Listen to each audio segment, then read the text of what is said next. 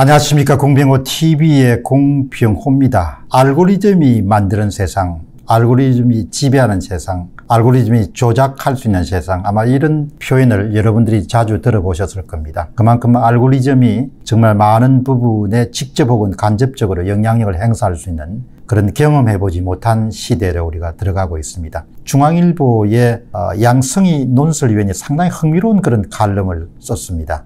그렇기 때문에 여러분과 그 핵심 내용을 공유하면서 동시에 우리가 생각해야 될 거리를 한번 정리해보는 시간을 갖도록 하겠습니다. 양성희의 시시각각이라는 그런 칼럼의 제목은 알고리즘이 만드는 세상입니다.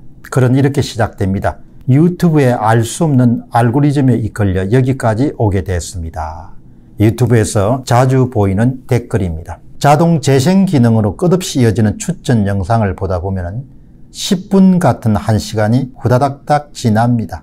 입맛에 맞는 영상을 맞춤하게 골라주니 유용하긴 하지만 한편으로는 찝찝합니다. 유튜브의 최고 상품 담당자 CPO 닐 모하는 2019년 뉴욕타임스의 인터뷰에서 이렇게 주장합니다.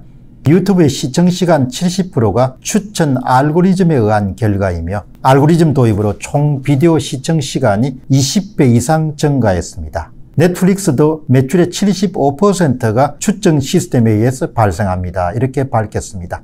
우리는 알지 못하는 사이에 추천 알고리즘에 포박당했다는 이야기입니다. 기술과 데이터를 독점한 거대 기업들이 개발한 알고리즘은 영업 기밀이라 정체를 알 길이 없다. 아주 중요한 내용입니다. 그러니까 특정 기업이 특정 뉴스를 더 많이 보게 하기 위해서 알고리즘에 손을 댈 수 있다는 이야기입니다. 이 이야기를 양성희 씨가 이렇게 칼럼에 지적하고 있는 겁니다. 트위터는 최근 자동 이미지 클론, 잘라내기 알고리즘이 인종차별적이란 비판을 받고 사과했다. 또 유튜브의 추천 알고리즘은 분열과 극단화를 조장하다는 그런 비난을 받고 있다. 최근 국내에서는 권력의 포탈 통제 의혹과 함께 알고리즘에 대한 관심이 커지고 있다. 네이버의 부사장 출신인 야당 의원이 다음에 뉴스 편집을 문제 삼으며 책임자를 호출한 장면이 대중에게 공개됐다. 모바일 네이버에서는 추미애 법무부 장관을 일반 정치인과 다른 화면이 나와 의혹이 제기됐다.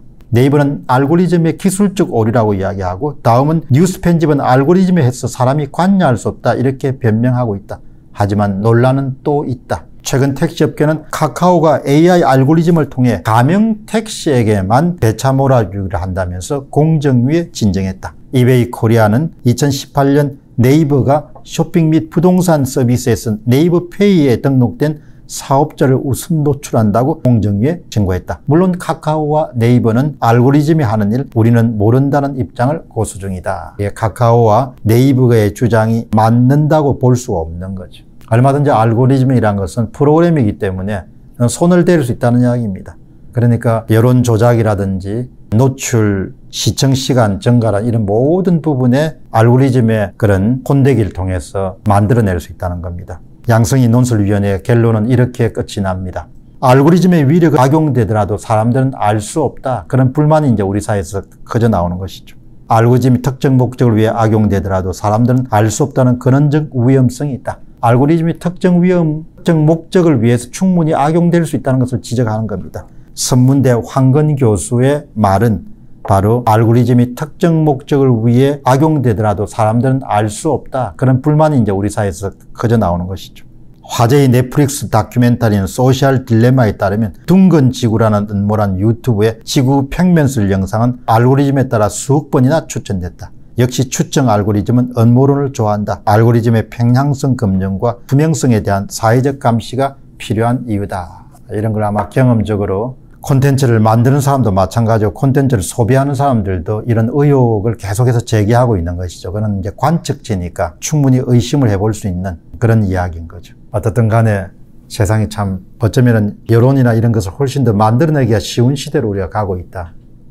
그런 의미에서 보면은 어, 지금 제시하는 그런 칼럼은 상당히 의미가 있죠. 알고리즘이 만드는 세상, 알고리즘이 지배하는 세상, 알고리즘이 창조하는 세상 이런 세상을 가고 있는 거죠.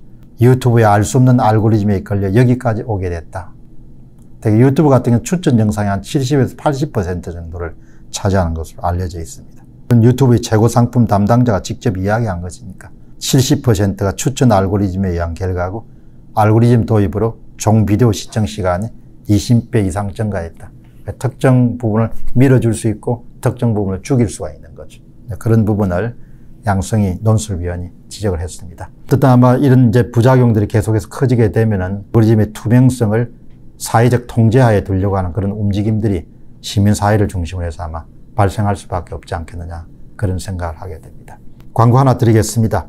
사실과 진실과 정론을 널리 확산시키기 위해서 온라인 신문인 공데일리가 출범했습니다. 여러분께서 방문하셔서 회원도 가입하시고 많은 그런 응원을 부탁드립니다. 한 가지는 한글과 영어를 동시에 서비스하는 새로운 유튜브 채널인 공TV, GONGTV가 활동을 활발히 하고 있습니다. 병호 TV를 구독으로 응원했던 것과 마찬가지로 GONG 공TV도 구독으로 응원해 주시면 활발하게 펼치는 활동이 훨씬 더 힘을 받을 것으로 봅니다. 공병호 TV의 공병호였습니다. 감사합니다.